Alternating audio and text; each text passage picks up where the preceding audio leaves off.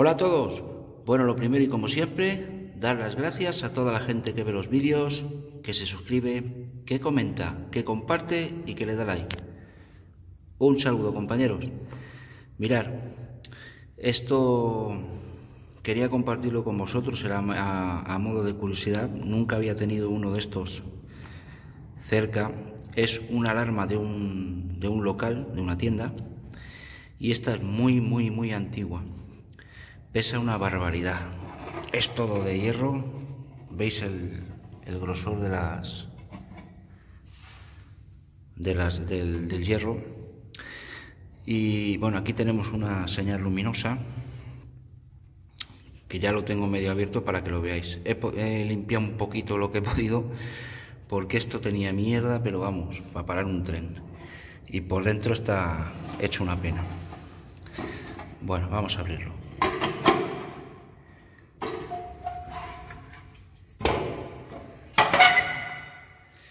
Bueno, mirar, ahí tenemos la alarma. Esto es lo que suena. Será es una bocina y esta es muy potente. Uf, esto tiene mierda para parar un tren. He limpiado un poco por fuera. Ahí nos encontramos un final de carrera. Aquí están todas las conexiones hechas. Aquí debajo justo está la señal luminosa Ahí tenemos otro final de carrera. Y aquí tenemos el circuito que controla la, alarma. Que no se ve prácticamente nada porque tiene mierda esto del año que pidáis.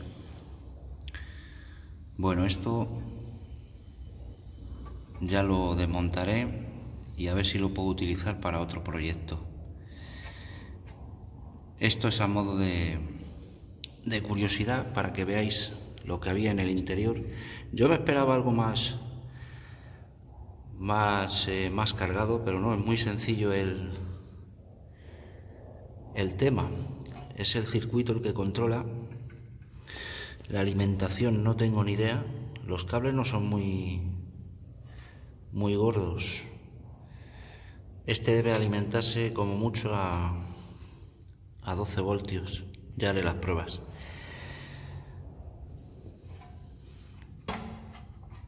Y esta está súper interesante. Bueno, espero que os haya gustado.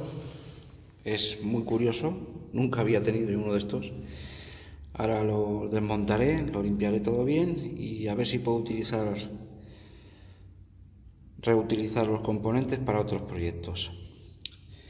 Si os ha gustado, ya sabéis, le dais al dedito y si no, nos vemos en el próximo vídeo.